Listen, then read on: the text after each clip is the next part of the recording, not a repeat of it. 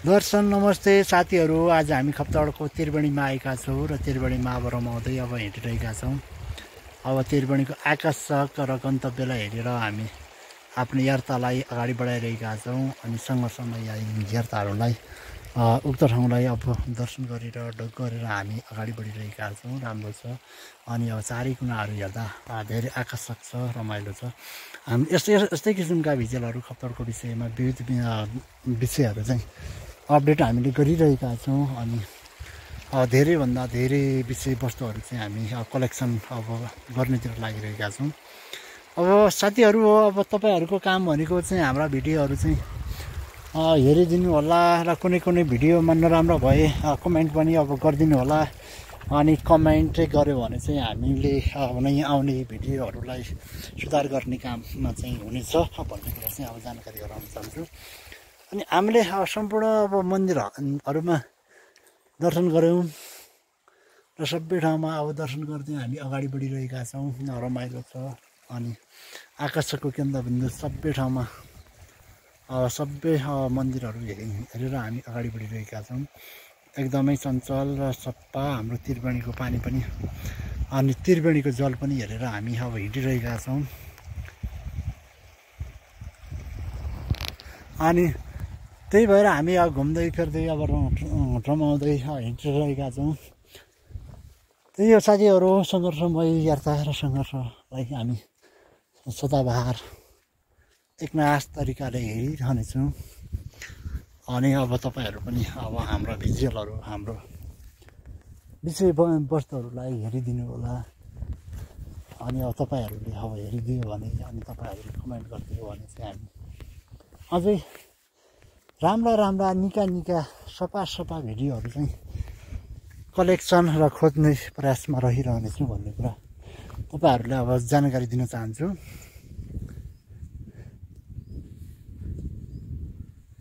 अनि हामी एकदमै यात्राको निरन्तरतामा छौँ अनि सङ्घर्षमा छौँ। सुन्दर खप्तड रमणी खप्तड।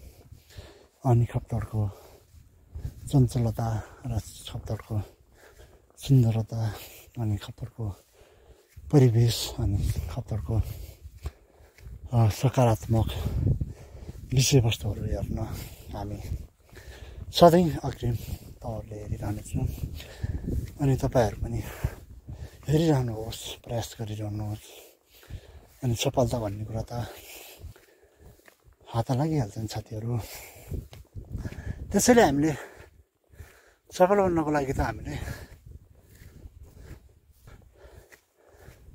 सफल बन्नको लागि त हामीले एकदमै धेरै प्रयास गर्नुपर्ने हुन्छ। यदि हामी सफलताको श्रेणीतिर पुग्न सक्छु यदि हामी सफल बन्नको लागि हामीले प्रयास गरेनौँ भने हामी सफलताको श्रेणीमा हामी पुग्न चाहिँ धेरै समय चाहिँ लाउन सक्छौँ भन्ने कुरा चाहिँ तपाईँहरूलाई जानकारी दिन चाहन्छु। अनि हामी सफल बन्ने यही योजनामा रहिरहनेछु भन्ने कुरा अनि जानकारी गराउन चाहन्छु। अनि हामी यात्रामा छौँ। एकदमै रमाइलो सङ्घर्षमय हामीले त्रिवेणी हेऱ्यौँ। अनि त्रिवेणी नजिकै हामीले पर उता गुना पनि देख्यौँ साथीहरू। ठ्याक्कै बरको डाँडामा गुना छन् है साथीहरू। अनि कति धौला छन् र कति आकर्षक छन् कति रमाइला छन्। हामीले त्यहाँ गएर फोटो सेसन त गर्नु भने तर अब धेरै दौडधुप के गर्ने साथीहरू? जहाँ छन् परको डाँडामा? अनि रमाइला छन् सता सता छन् है साथीहरू। अब तपाईँहरूले अब देखि देख्नुभयो भएन। हाम्रो ठ्याक्कै हो। ठ्याक्कै हो यहाँनिर हो यो आङ्लाको ट्याक्कै माथिनिर छन्। अहिले डाँडातिर छन्। एकदमै रमाइलो छ हाम्रो ठाउँ। अनि अब त्रिवेणी। अनि अहिले त्रिवेणीको सुन्दरता यस्तो अवस्थामा देखिरहेको छ। अनि एकदमै सफा छ एकदमै चञ्चल छ। अनि खप्तडको सिनहरू चाहिँ यस्तो छ। एकदमै राम्रो छ अनि एकदमै व्यवस्थित छ। हामी एकदमै नि नियमित भ्रमणको क्रममा राखिरहेका छौँ। एकदमै सफा अनि एकदमै आकर्षक केन्द्रबिन्दु। अनि यताबाट हाम्रो ड्युटीतिर जान्छ भने अनि हाम्रो चाहिँ यताबाट आउने बाटो चाहिँ अछाम बाजुरा र पच्याङबाट आउने बाटो देखिन् देखिन्छ भने यहाँबाट माथि छ सा साथीहरू सैलिङ भन्ने। माथि अब सैलिङ छ। अनि हामीले सैलिङ माथि छ भने अब खप्तड बाबाको स्वामी डक्टर स्वामी बाबाको कुटी चाहिँ हाम्रो उता छ माथि। अनि अनि हाम्रो अब एकदमै व्यवस्थित छ अनि उता चाहिँ हाम्रो ठुलो खेलहरू भयो भने चाहिँ त्यहाँ राम्रो छ। अलि खेल खेल्न र व्यवस्थित हुने ठाउँ। अनि है हेलिकप्टरहरू चाहिँ आयो भने अवतरण हुने ठाउँ चाहिँ यता अब साथीहरू हो। उक्त ठाउँहरू पनि हेऱ्यौँ। अनि अब माथि सैलिङ अब जाने बाटो चाहिँ यताबाट माथि हो साथीहरू ठ्याक्कै। एकदमै राम्रो छ। अनि एकदमै आकर्षक छ हाम्रो खप्तड अनि हामीले खप्तड हेऱ्यौँ अनि खप्तडको सुन्दरता हेऱ्यौँ अनि खप्तडमा रमायौँ घुम्यौँ फिर्यौँ अनि आकर्षक ठाउँहरू हेऱ्यौँ अनि धेरै ठाउँहरू त हेर्न बाँकी नै छ बाँकी नै रहेको छ। अनि एकदमै राम्रो छ एकदमै सन्चल छ एकदमै सफा छ। अनि खप्तडको सुन्दरता र खप्तडको रमणीय वातावरण हेर्न पाउँदा हामी धेरै धेरै अब धेरैभन्दा धेरै आकर्षित भएका छौँ।